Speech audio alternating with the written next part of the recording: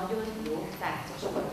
Következő muzsika, illetve tánc itt fog előttetek zajlani. És honnan is tudunk mi Mátrás királyról, egyáltalán erről a korról?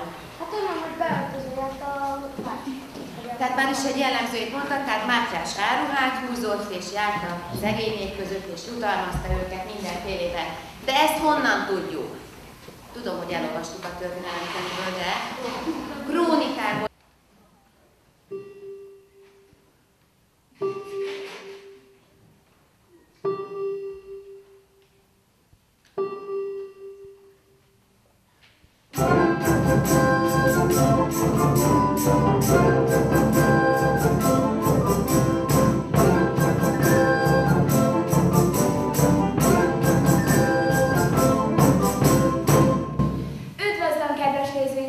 a Reneszánsz TV külön kiadásában. Mint tudjuk, szeretett drága királyunk Mátyás király állandóan járja az országot, és most végre városunkba is megérkezett egy eseménysorozat keretében. Ezen alkalomból utazó riportereink egész garmadáját küldtük ki, hogy megfelelő élményben közvetítsük önöknek itt tartózkodása pillanatai. Azonban mielőtt megérkezik a királyi konvoj, látogassunk el a backstage-be.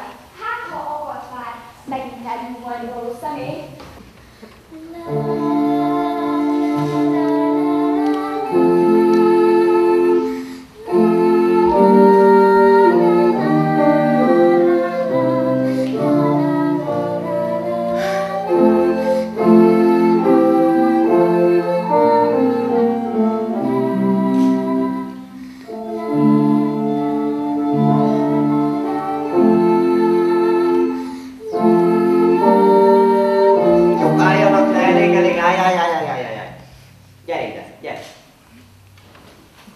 Annyiszor hallottam már azt az hat, már a könyökömön jön ki, most már valami mást is szeretnék hallani. A napokban hallottam valami a reneszánsz, reneszánsz FM-en valami jó kis nótát, valami olyasmi, hogy, hogy pontosan most múlik el valami. Most, most múlik pont. Az, az, az, az, azt kérem. Azt. Ne, de ne, ne furuljában, hanem nem is tudom. Ó, azzal a szép csillogó sárga valamivel, azzal. Ország első embere, drága uralkodónk, Mátyás király, üdvözlöm a Reneszánsz TV nevében, ha esetleg helyet foglalna, akkor is kezdhetnénk az interjút.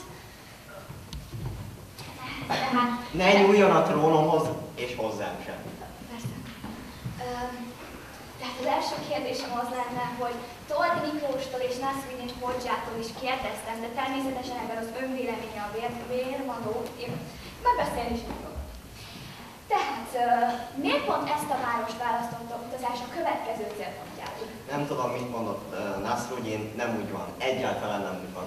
Csak azért jöttem ide, mert a közeli kis falunál, kis egy Szeged hely melletti kis községben lakott az én nagymamám, aki sajnos egy pár hete elhunyt, és hát az ő tiszteletére jövök ide.